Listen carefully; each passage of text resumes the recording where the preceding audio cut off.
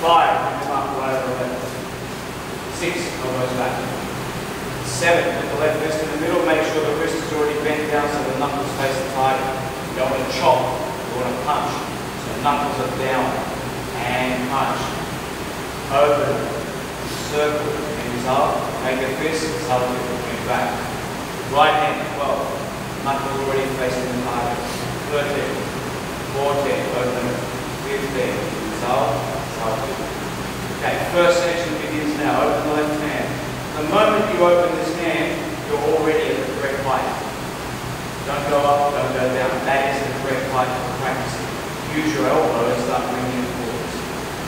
Right, so slowly bringing it in and forwards from the elbow. Tuck the thumbs in, keep the fingers neatly together, not jammed, at least close enough to be comfortable together. And send everything slowly towards the front. Remember the key is to keep the front wrist at the same height as the rear wrist. And elbows just a little bit lower with a slight angle. That way the stance assists the hands. As you go forwards, take note of how you feel in the shoulders. You'll get to a point in here where the shoulder muscles are going to try and take you away. When you reach that point, that's where you stop. Because we don't want the elbows straight. We want it to stay in the middle. For those who are very skinny and flexible, it should be easy to hit the middle. For those less flexible, you can't get the middle, just make sure it comes out 90 degrees to your shoulders. Don't get into this habit. This is structurally not so strong. This way is much stronger. So whatever you can do, keep 90 degrees between here and here. Uh, Alright, at that three quarters distance, circle in, around, slow it down, really stretch it, inhale, and convert to inhale. Now the key thing is that the wrist is still in the same place. So the height of your front wrist is still the same height as your rear hand. Right? Just because someone wants to punch in the nose doesn't mean you stick your hand up here. You draw their punch away. So by keeping the wrist here, we're learning to draw their power away from us. So the elbow is coming back, not the hand, not this. It's always from here. Elbow back slowly. Imagine someone's pushing, you've all done the drills with somebody there. Try and imagine that's happening now. Someone is forcing their hand against yours, so let them push. Steal their power. Tear them. Take it off him, give it back to them. When you're about a fist away from the body, up. Just let the hand collapse and go to sleep. Fingers, forearms, everything switched off. The wrist is still in the same place. The elbow is going to push. Slowly pushing forwards from the elbow. It's not about jamming the arm into the middle, it's make some room and bring it in naturally. Even Patrick hasn't got his elbow in the middle yet. If he knows how to use the shape, I can't get in. I'm trying, but I can't get in because he's using his whole forearm. He's not obsessed with his elbow. Everything from here to here is helping me up. Same for you. Even though your elbow might not be in yet, keep your wrist forward apply your whole forearm. I keep going until you start to feel that same sensation, the shoulder beginning to tighten, try to take it away. Circle, hands up, moves up, guarding the and collapse again. So imagine something is too strong, let it come in.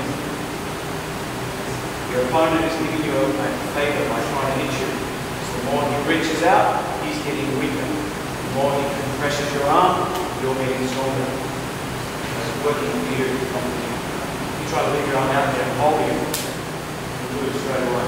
That's coming. Fist away, hooks out here.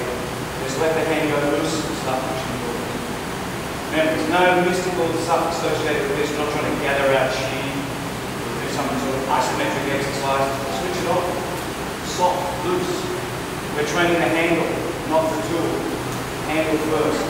Then we'll put the tool. Nice, the handle first. Bring it forwards, a little bit at a time. Make sure that the front wrist stays the same height as the stand. And keep your elbow out. Always a slight bend. Three quarters extended, circle, up, up, and back again. If you're looking at yourself in the mirror, most of you can see what you're doing. Europa always be below your shoulder. Europa is out here. It's not very good for glass. You've got your elbow below the shoulder. It's got the maximum strength of the triangle.